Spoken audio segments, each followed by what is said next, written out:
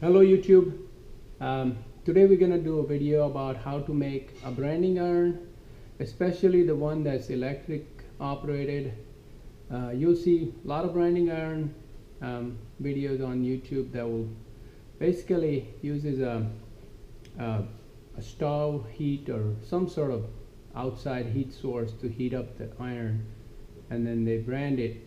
Um, I have a need to brand several equipments uh, for my beekeeping so uh, it, that wouldn't work. So I decided to make one with electric. Those are very expensive if you buy from outside so so let's get started. What I made we're gonna break it down into kind of uh, four sections. First I'll kind of walk through uh, the parts and the, the theory behind the, manufacturing of this device and then we'll show a little quick demo and then we'll show the, the actual assembly if you're interested. And then lastly the the the most important piece of this iron is the branding piece uh, how we made that. So let's start with that. So the branding piece you see right here is an aluminum block. Um, I have access to milling machine and lathe so that's what I utilize to make this so all I did basically is took a, a one and a half inch aluminum stock, um, turned it in a little bit um, to about a little over 35 millimeter, and I'll, I'll go over that in the next. And we also uh, profiled our brand using milling machine. So I'll have video about how we profile this later on. Uh, but that's one piece. The second piece is uh, this handle and the bar or let, us go to this one. So this is a, um, a band heater. So band heater is basically uh, typically used for a, a plastic injection molding machine. They are very cheap, like $10. You can get it on eBay, uh, or sorry, Amazon. I'll have a link uh, to the product page if you are interested in buying it.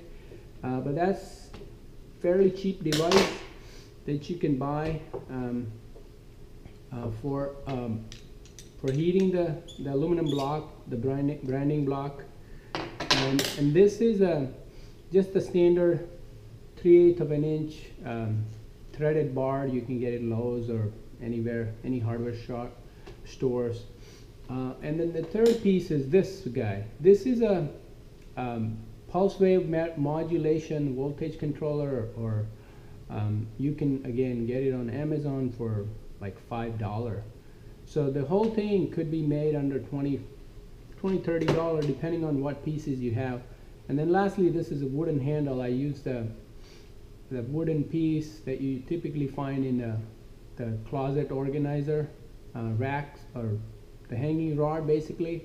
So I, I use a piece of that drilled uh, 5 16 hole on on the aluminum block and the handle and threaded it in. Um, I want to also talk about connections. So this SCR has two, four terminal. One is the output voltage and two are input voltage. And you'll have a marking on the PCB board. The neutral is common, so that's why I connected this wire on the same terminal.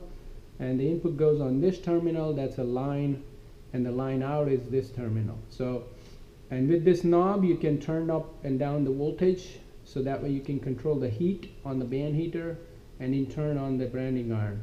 So you can dial this down to burn any any kind of softwood, hardwood, or leather, or whatever material you're working on. That gives you an additional control on the temperature. So that's that. Now we're going to show you a little demo, and then we'll show you assembly process and uh, profiling process. So this branding iron, we just turned it on and it's heating up. I wanted to talk about a couple of other things. So when you put this thing together, use some sort of a spacer uh, when you mount this device on top of the, the bar here uh, so you don't get a shock or anything. And, and also it shields from the heat. Um, this rod's gonna get hot um, so this PCB doesn't get hot.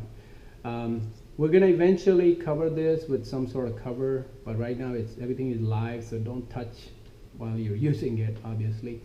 Uh, I also wanted to talk about this branding uh, block profiling, right? So this block, Um, there are a number of ways you can make it. Like I said, I have milling machine, so I made it with that. But if you don't have milling machine or or a lathe, all you have to do is find a brass or aluminum block that's kind of close to this band heater diameter. Doesn't have to be perfect fit. Uh, you can be a little bit bigger than the 35 millimeter. And then you can use, you know, either a Dremel tool to profile the pattern you want. The one thing you want to remember when you make the pattern is you want to profile a mirror image of the pattern you're going for. So this has to be a mirror image. As you can see here, it says H9, but actually it's going to print PH, obviously, right? It's a mirror. Um, if you have a 3D printer, you can um, create a positive remold of your brand on a 3D printer and then turn it into a, a some sort of casting. I mean, there are a thousand different ways to skin this cat on making this block, but the, the important point I wanted to make uh, um, in this video was how you can make it electrically operated. Because those seem to be very expensive, like I said. And this kind of gives me a cheap option to create an electrically heated uh, iron. So it's still heating up. Uh, while it's heating up, it takes about three to five minutes um, to get proper temperature.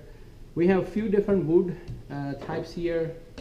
Uh, we have the soft wood. This is my beekeeping frame. Another soft wood. This is like a, a paneling for wall. This is a even softer than this is pine. This is even softer than pine. And then I have a little bit of hardwood. This is a, a piece of oak uh, wood flooring. And so I'm gonna try to brand this all three pieces uh, using this iron. This is hot enough. Uh, we're gonna try and uh, use this now. So we start with the soft wood.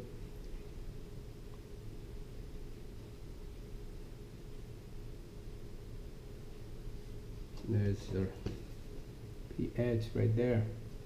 Let's do it on the pine now. Okay.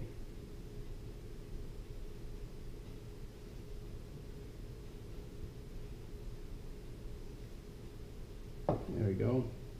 Let's do one more. It's not dark as I want.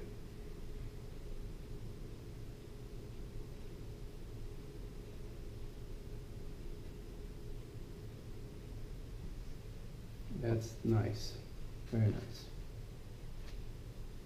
Now let's try the the the oak.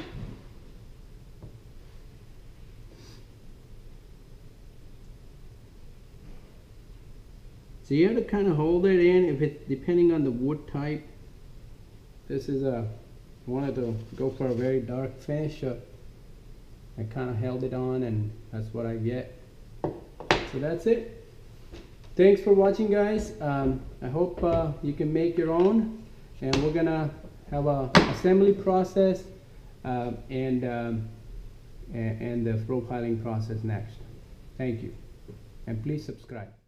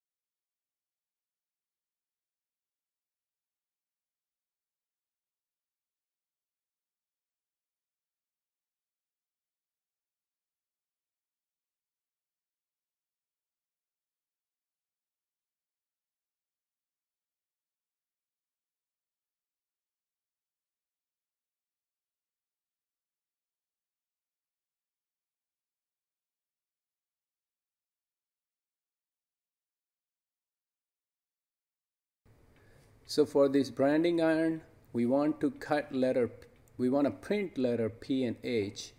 Uh, so we have to cut the mirror image of that, H and 9. And this picture kind of shows all the dimension in thousandth of an inch of the letters I designed.